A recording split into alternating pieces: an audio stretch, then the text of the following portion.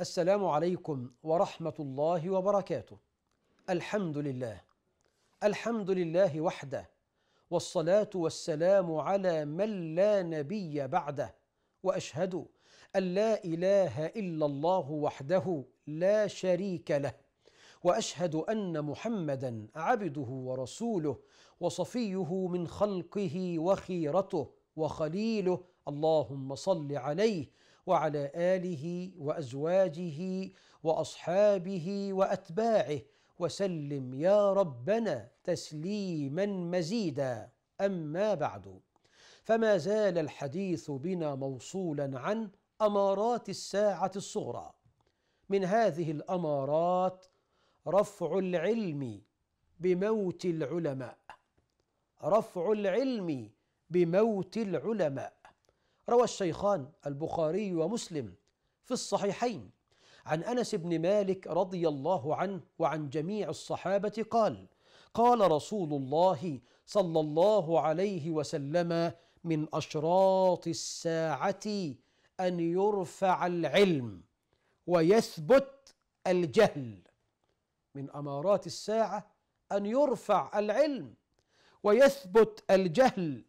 وفي الصحيحين أيضا عن عبد الله بن مسعود وعن أبي موسى الأشعري رضي الله عنهما وعن جميع الصحابة قال رسول الله صلى الله عليه وسلم إن بين يدي الساعة لأياما ينزل فيها الجهل ويرفع فيها العلم. إن من أشراط الساعة أيام ينزل فيها الجهل ويرفع فيها العلم. وكيف يرفع العلم؟ والعلم في الكتب مسطور مكتوب يعني. كيف يرفع العلم؟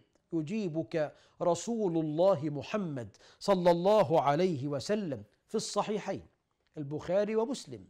عن عبد الله بن عمرو بن العاص رضي الله عنهما وعن جميع الصحابة قال قال رسول الله صلى الله عليه وسلم إن الله لا يقبض العلم انتزاعا ينتزعه من الناس ولكن يقبض العلم بقبض العلماء يعني بموت العلماء العاملين المخلصين. إن الله لا يقبض العلم انتزاعا ينتزعه من الناس ولكن يقبض العلم بقبض العلماء حتى إذا لم يترك عالما اتخذ الناس رؤوسا جهالا. فسئلوا فأفتوا بغير علم فضلوا وأضلوا. يبقى الأصاغر. ويلتمس العلم عند الأصاغر. الذين يفتون ويتكلمون في الدين بأهوائهم. بغير نور من القرآن بغير نور من السنة بغير نور من أقوال الصحابة بغير نور من أقوال التابعين والأئمة.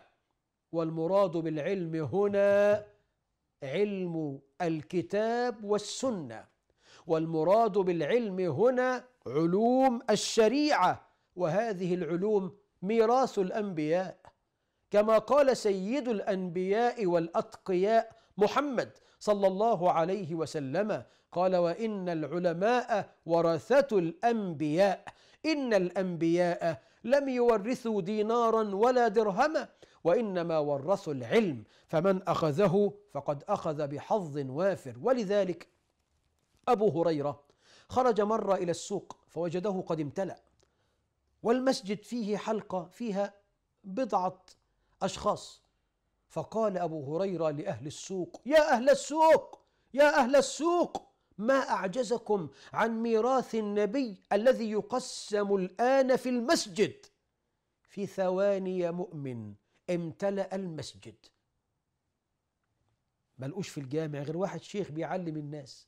قالوا أين ميراث النبي الذي يوزع يا أبا هريرة؟ قال العلم. إن العلماء ورثة الأنبياء. إن الأنبياء لم يورثوا دينارا ولا درهما وإنما ورثوا العلم فمن أخذه فقد أخذ بحظ وافر.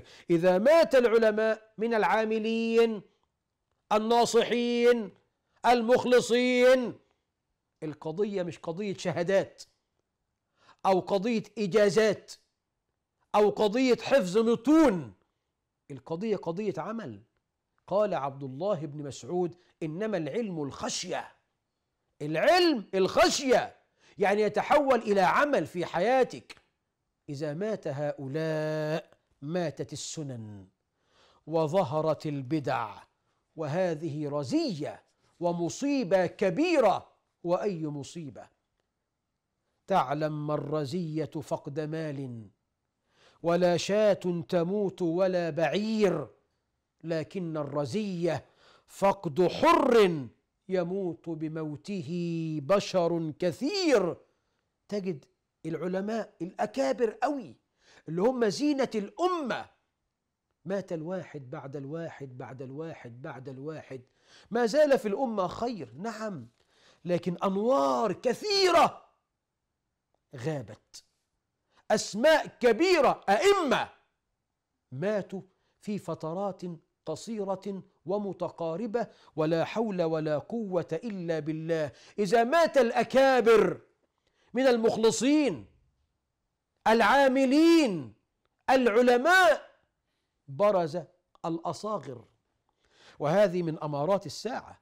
روى ابن المبارك في الزهد والطبراني في الكبير وصححه الألباني قال رسول الله صلى الله عليه وسلم إن من أشراط الساعة ثلاثة إحداهن أن يلتمس العلم عند الأصاغر يعني إيه أصاغر؟ قال ابن المبارك لما سألوه ومن هم الأصاغر؟ قال هم الذين يقولون في الدين برأيهم فأما صغير في السن يعني يروي عن كبير فليس بصغير. مش مقصود هنا السن.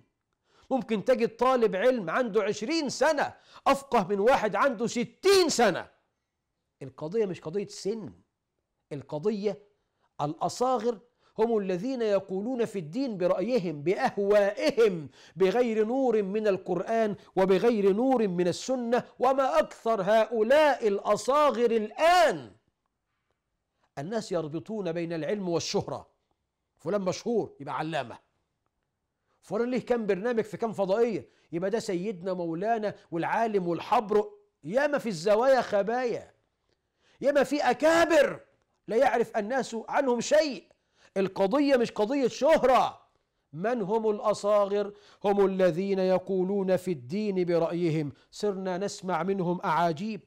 هؤلاء الأصاغر الآن يريدون سلخ الأمة عن هويتها يريدون علمنة الدين.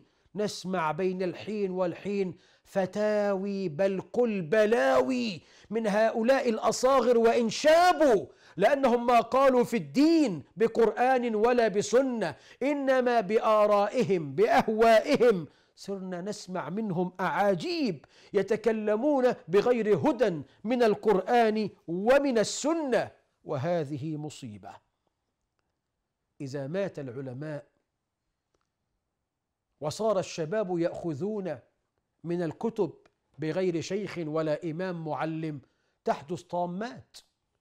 روى الشيخان في الصحيحين قال رسول الله صلى الله عليه وسلم سيخرج في آخر الزمان قوم أحداث الأسنان. شباب صغير سفهاء الأحلام يقولون من قول خير البرية يقرؤون القرآن لا يجاوز حناجرهم. تعرف منهم وتنكر يمرقون من الدين مروق السهم من الرمية. فإذا لقيتموهم فاقتلوهم فإن قتلهم أجرا لمن قتلهم عند الله يوم القيامة. الخوارج يعني اللي سيدنا علي قاتلهم في يوم النهروان اللي خرج من عباءتهم بعده بتوع التكفير والهجرة وغيرهم وغيرهم.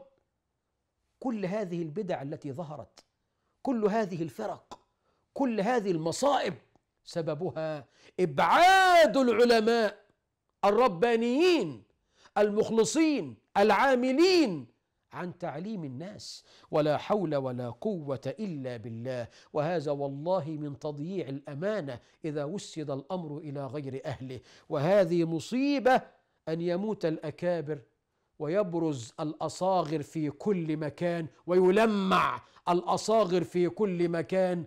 هذه مصيبة وأي مصيبة؟ صدق نبينا. عندما قال لا تقوم الساعة حتى يكون أسعد الناس بالدنيا لكع. ابن لكع. اللكع صغير العلم صغير العقل. من أمارات الساعة الصغرى رفع العلم بقبض العلماء. أسأل الله أن يبارك في أعماري وأعمال مشايخنا وعلمائنا إنه ولي ذلك ومولاه. بحبكم في الله أقول قولي هذا وأستغفر الله لي ولكم. والسلام عليكم ورحمة الله وبركاته.